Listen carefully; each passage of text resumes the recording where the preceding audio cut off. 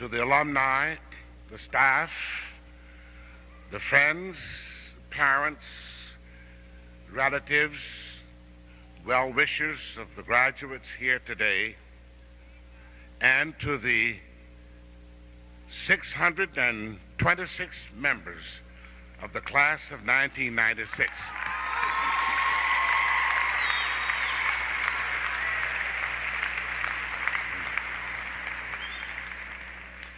You cannot imagine how grateful I am that I was invited to be here with you to celebrate this moment in your lives. You know, this is perhaps the highest moment in your life to this point, and I hope that when you take your marriage vows, if you have not yet done so, that that will be a moment of equal significance, but hardly exceeding this moment, this moment of high achievement for you. And this is your day, your day. No more all night cramming for exams. Mm.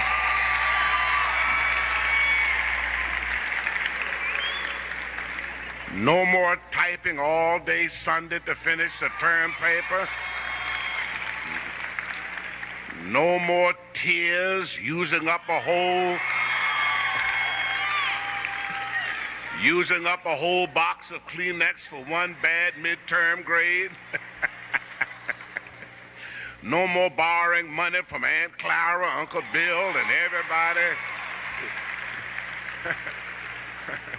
All of that mess is over with. This is your day today, and may God bless you. Now, I don't really know. Please, if you have somebody graduating, show respect. Quit hollering all over the place. Relax. We know, we know you're graduating. Just, you know, just shut up and be still and celebrate these wonderful people right here. But anyway, let me say this to you. I, I think that uh, I ought to be doubly grateful because I have no business being here as old as I am. I've been giving these commencements now for some 40 odd years, and I don't know why they keep having me, but I'm grateful. I really think they were trying to get somebody else, you know, Jesse Jackson or Colin Powell or somebody, and they were all busy, and they finally got me. But I tell you, I came anyway. Dr. Barton is one of my best friends, and I'm crazy about that lady. But let me tell you, I came because some of my best opportunities have come to me when I was substituting for somebody else. That's how I got my wife. Let me tell you what happened. when I started college, we used to have these buses to take all the new students around to see the city of Richmond, you know. And all these pretty girls, I don't know where they found all these pretty girls to come to our college. And the senior men, I was a senior, watching to see the girls who got off the bus. And I saw one that I wanted to talk with. But I was a gentleman, I kind of laid back. And one of those great big football players jumped in front of me. He started talking to her, and I had to wait until he messed up, and I knew he would. And, uh, and so, so you know what he did? He handed me a note one day, told me to give this note to her. The note said, Dear Bessie, sorry I cannot take you to the movies tonight because I have to work at the John Marshall Hotel, but I will call you later on when I get off. So I read the note, you know, and I, I threw the note in the trash can. And I went on down to the dormitory and stayed around there waiting until movie time, and he didn't show up. I was all dressed up, had my fingernails clean, little oil on my hands, you know. And uh, where are you going? I said, I'm just hanging around here. Where are you going? Bob is supposed to pick me up to go to the movies, but he hadn't shown up. It's almost time. I said, don't worry about that. I'll take to the movies. If Bob is there, we'll just see him when we get there. Well, anyway, we've been married now for 51 years. Uh, and uh, I have, uh, we have four sons and five grandchildren, and I don't know what happened to Bobby. I haven't paid any attention to that at all. I'm going to be brief because this is your commencement day. You want to get your diploma and get out of here. But I do want to say this to you. I want you to think about what would be an American agenda for the third millennium. Millennium. Did you hear that? Millennium. Do you know what a millennium is? That's a thousand years. And we are about now to begin the third millennium of the current era, the third millennium. You, the class of 1996, are very special people because you will be starting your careers, beginning your families, and getting settled in your new communities when the curtain rises on the 21st century and on the third millennium. That's 43 months from now.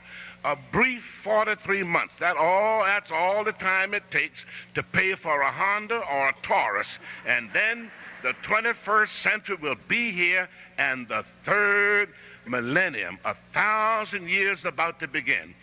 You don't know anybody who has ever seen a millennium beginning. You don't. I don't know anybody. You're going to see it. I may see it with a whole lot of luck. It'll be close, but I hope to be here with you to see the third millennium arrive. There was no democracy in the first millennium. People were burned at the stake the first millennium, from the year 1 to the year 1999, was terrible. You would not want to have been around in that first millennium. They fed people to the lions for belonging to an unpopular minority. Women were treated like property. The lifespan was only 40 some odd years. There was no education for poor people like most of us. There was no middle class only the very rich, and then the serfs and the slaves and the peons on the bottom. Surgery was performed without any anesthesia, first millennium. The local barber did all the dental work. Mm. You should be glad you were not here in the first millennium. Now, the second millennium is going on right now, from the year 1000 to the year 2000. Don't forget that. Our millennium. Now, here's what we have seen in our millennium. We've seen modern nations begun. We saw the disorganization of the Holy Roman Empire. Universities began in Spain, in London, Timbuktu in Africa, and in Alexandria in Egypt. Arabic scholars shared the treasury of the great Greek writers of the 5th century BC. They had preserved these writings in their own Arabic language, then translated them into Latin, and the Renaissance broke loose. How grateful we are to the Arabic scholars for that. And then came the Enlightenment period, and of course the Industrial Revolution, the American Revolution, the French Revolution, and all of this happened in our millennium, the second millennium. But then look at the ugly things that happened in our millennium. Don't forget this. Our millennium, colonialism, European powers ruling all of the darker skinned people of the world in Asia, Latin America, and in Africa. 300 years of human slavery in our millennium. The Holocaust in Europe in our millennium. World War II the persistence of racism in America and in Europe. The second millennium has given us technology, democracy, freedom, and all of that, but it left us also with some awful tribalism and some ethnic polarization that we've got to work on. So all of the graduates of all of the classes of 1996 need to know that we have inherited a world that cherishes democracy, freedom and technology, but a world that needs to learn how to live together as one family of God. That's the main thing we've got to learn for this second, this third millennium that is coming aboard. You know, when I was young, I attended a church related college where they made all of us have a liberal arts education. They didn't have money for anything else. They didn't have money to teach physics and chemistry and all of that. But they did have people around who knew the classics. So I had to take Latin, Latin, in order to graduate.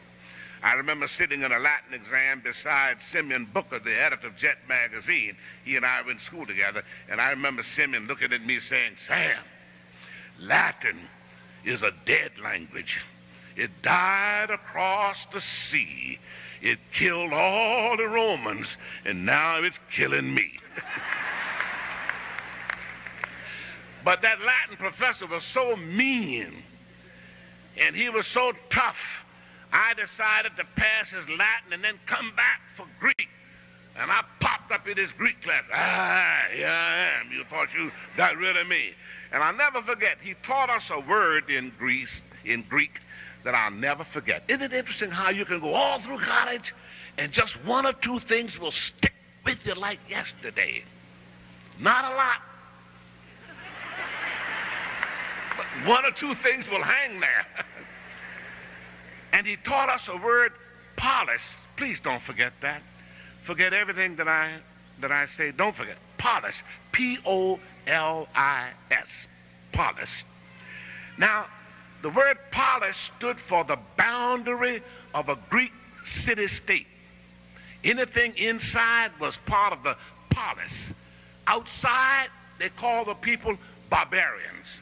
But if you lived in the polis, you were Greek pure Greek. But your behavior had to be of a certain kind. You had to behave in a certain accountable sort of way. You could not do whatever you wanted to do and live in the polis. When you're in the polis, it's like signing an agreement. I'm going to live with good health and a strong mind and good character. I'm going to obey the laws that we pass. I'm going to be a reliable citizen in the polis. And guess what words we get today from that word polis? You can almost guess some of them. We get the word police. Aha. We get the word polite. Aha. We get the word policy, politics, cosmopolitan, metropolitan, everything that has to do with poly, anything comes from polis. It means that you have to have a certain kind of a set of values at the center of the society in order for things to work out well. If you do not have a sense of polis, you have confusion, you have crime, you have racism, you have rich folks stealing all the money, poor folk falling off the edges. You have families breaking up. No polis, chaos everywhere. And right now, we have an American polis of a sort. There are still some values that we cherish at the heart of our society. Whether you're black, Hispanic, Chicano, white, whatever, you know there are certain values at the center of the society that all of us cherish very much. In New York City, they had a little girl from Bolivia, seven years old, sneaked into the country to get surgery. She had a tumor on her spine. And one of the biggest hospitals in America, with the richest, smartest medical doctors, said, we will not operate on you because you need $250,000. And they turned her down. It was on television and all the newspapers, and everybody heard about it. And people thought it was awful because it was beyond the polis. It fell beyond our value system. We don't believe in hospitals turning down a seven year old girl with a spinal tumor. It was beneath our value system. And thank God, St. Jude Hospital in Memphis said, send on down here, we'll do it. St. Vincent's Hospital in New York said, send over here, we'll do it. And I'll bet you that that hospital in New York who turned her down is still having meetings right now all weekend trying to find out who was that dumb doctor that made such an announcement of that. Now, you know he was dumb because who told him that it would cost a little girl $250,000 for him to remove a tumor from her spine? After all, he had a brain with which to perform the operation that he got free, didn't he? He can't make a brain, can he? Huh? Now listen, he was going to use hands. He can describe a hand, he can operate on a hand, but my soul, he can't make a hand. And he's got two hands free to operate on that girl. Not only that, centers of medical education lying there waiting for him that he didn't create. Who told him the bill ought to be $250,000? How arrogant of him to say a thing like that. So we can always tell when somebody steps beyond the boundary of politeness and decency and respect for human worth. Right now, the polis is in deep trouble. And I'll tell you where our trouble lies. First of all, we can't agree on what government ought to do. Some folk don't like government at all. You know that? They're going around here blowing up post offices, blowing up the World Trade Center, you know, piling up guns in some ignorant place out here in the mountains somewhere. They don't want any government at all.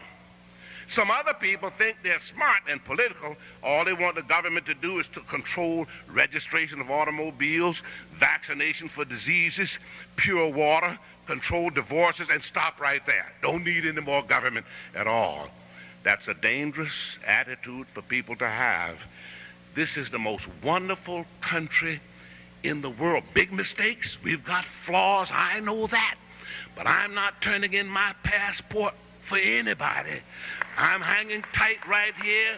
I want to see what the end is going to be. If America's not what it ought to be, I want to spend the rest of my time trying to make it what it ought to be. My great grandparents labored here. Their blood and sweat helped to make this country great. I'm not walking out on it now. I want to be here to have all the goodies that belong to me. And I want the government to be responsive. Here's, some, here's the way some people think, you know.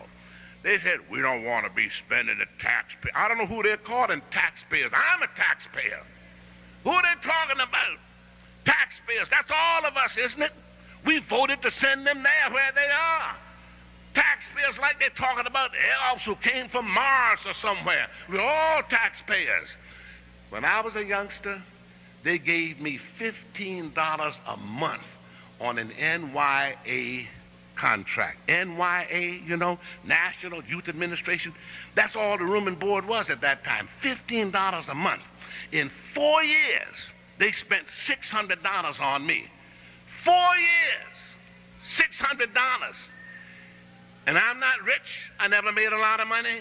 But for the last 10 years, I've been paying them more in income taxes every week than they spent on me for four years. Did you hear what I said? And you're going to do the same thing when you get out of here. Can you multiply? Isn't that a wonderful investment? We'll take that little Sam Proctor and we're going to spend $600 on him and he's going to give it back to us every week of his life as long as he lives. That's good mathematics, isn't it? Isn't that a good investment? Don't you know it's better to spend money on young people, educate them, than to leave them growing up like weeds and then spend all the money on them in jail. And another thing, I hear these geniuses talking about the national debt. I know we've got a debt, $13 trillion. I also know it's 260 million of us around here to pay it. Now, let me tell you something. We don't have to have a debt. If we had let Hitler run over the whole world, make slaves out of everybody, if we had let Russia communize every corner of the world, we would right now be sleeping with MiG fighters covering the night sky every night. All black folk would have stamps on the back of their hands in order to go to the beach to put out the garbage, to collect the newspaper, huh? Saddam Hussein would have all the gasoline choked up. You'd be paying $10 a gallon, then stand in line and get a mayonnaise jar full of gas, huh? You don't have to have a national debt. You could have had those conditions to prevail right now, and you wouldn't have had a national debt. But I don't want to live like that. Your generation does not want to live like that. We paid a debt, we owe a debt, and we know what we owe it for. We have freedom, we have self determination, We have a world at peace. We wake up in the morning. We don't have to worry about somebody snatching us out of the bed and hauling us off to jail. We have freedom. And all of that we have to pass on to the next generation. I could balance my budget at home if I wanted to. If we all quit eating, we'd have a balanced budget. But we have priorities we have to observe. So that's what we've got to straighten out right now. We've got to tell everybody representing us we want a certain quality of life in this country. The primary goal is not what you think it is. The primary goal is to have a certain quality of life for all of our citizens. Focus on that, and we'll scuffle and pay the bill. But we want a quality of life for everybody. A. B. We've got another problem with our with our uh, so-called policy right now. We cannot agree on how to treat people who have a late start in life. Not everybody was born with the same advantages. You know that. I'm standing here talking to you, but I bring to this moment in my life a very, very huge amount of great good fortune. Born black, born poor, born in the Great Depression and raised in all of that segregation. But I had a grandmother who was sent to Hampton right out of slavery. The family that owned my grandmother sent her to Hampton right after slavery. And my grandmother was in our home all of my young years. She taught me how to pronounce words, taught me how to speak without making grammatical errors, taught me how to spell, taught me how to be polite, how to say yes, ma'am, and no, ma'am, and please, and thank you. My grandma made my life what it was. Came right out of slavery, little skinny woman with a lot of power and grace. My grandma made me go to Sunday school every Sunday morning. You had to prove to that woman that you were sick and couldn't go. And the only way you could prove it to her was you'd be willing to drink one of those little 15 cent bottles of pure castor oil. And grandma Grandma would let you have that castor oil any way you wanted it. You could have it straight up on the rocks. You could have it with orange juice, have it with lemon juice, chop up onions in it, put honey in it, sugar, anything you wanted. But that castor oil had an integrity of its own, and it was bound to fulfill its high destiny. You either served God all day, or you didn't have any plans all day on Sunday, and Monday was in great doubt as well. I'm here today standing in front of you because I had a grandma that I couldn't buy with a Visa card. I couldn't order up from Sears Roebuck. God gave me a grandma, and that's why I'm here. And my brothers, all of them had the same grandma. One went into dentistry, one went into medicine, one became an officer in the Air Force. All of us did what we wanted to do because of a grandma that God gave us that we did not deserve. And don't you know one thing? All of you who have benefits in your life that you did not deserve, you owe it to go out of here and help somebody who has deficits, deficits that they did not deserve. They did not deserve. Don't go out here laughing at people who are uneducated. Don't go laughing at people who are poor. Don't laugh at folk who've sunk into drug and alcoholism. Help somebody. Lift them up because somebody lifted you up. And finally, finally, we've got to straighten the policy out about what the government ought to do, straighten it out about how we ought to help folk who have less and fewer advantages than we have, and we've got to learn how to live together no matter what our color or religion may be. This is what America has to offer to the world. Now, I know, I know how angry you and I can get because of racism and discrimination. I know that.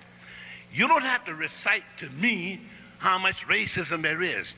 I know all of the whereases. Whereas this, whereas that, whereas that, whereas that. But I've got to hurry up and get to the therefore. You know, you can't hang around whereas all the time. You got to move on to therefore. That's where I am right now, at the therefore. You don't need to be a genius, a rocket scientist to know what's wrong, but you got to make a resolution on what you plan to do about it. And you plan right here to go out of here, take your degree, your character, your hope, your faith, and make a strong life for yourself. Do things right. Do things right. And then contribute to the success and the beauty of this nation of ours so that when the third millennium starts, you'll be part of the great sponsorship of a wonderful human community. And every now and then I see something that tells me that things really are going to change. I went down to a small college in South Carolina, in Clinton, South Carolina, to give a commencement address. And while I was down there, I saw a brand new building on the campus, a beautiful new student union. It's a small little Presbyterian college. And I said to the president, that's a handsome building. He said, Sam, that's a state of the art student union, $20 million. Everything is in there, big computer center and everything. And I said, I see the name on it Martha Dendy Hall. Who was Martha Dendy? Oh, you don't know her, do you? No, I don't. You know who Martha Dendy was? She was a woman who had died 20 years earlier, but who for 30 some years had been the laundry lady for the male white fellas in that school. It was a white male college. And this black woman who lived over in what they called the colored section would do their laundry. Every day, all day long, you would see this straight, tall black woman walking across the campus of Presbyterian College back in the 1950s and 40s, way back in that time. She would have a basket filled with clean, starched clothes going to the dormitory, then pick up another basket full of dirty clothes going back. And while she was walking, clothes were blowing in the wind on her clothesline in the backyard. No drying machine, no automatic washing machine. Her body was just like steel with a washboard and just rubbing and scrubbing. All had six children of her own. They couldn't even go to that college. They had to go to Claflin and South Carolina State. Have mercy, Father. And all the little boys called her Aunt Martha. She would pray with them when they were doing wrong. When she heard they had death in the family, put her arms around them and said the 23rd Psalm in the ear. She was Aunt Martha to all of them, and then she died. They named a little street after her in Clinton, Martha Dendy Street. Named a little elementary school after her, Martha Dendy uh, School. And then when the trustees met, all these old white politicians and judges, you know, and rich textile men sitting around the table. We want to appoint a committee now to name the new student union here about three years ago.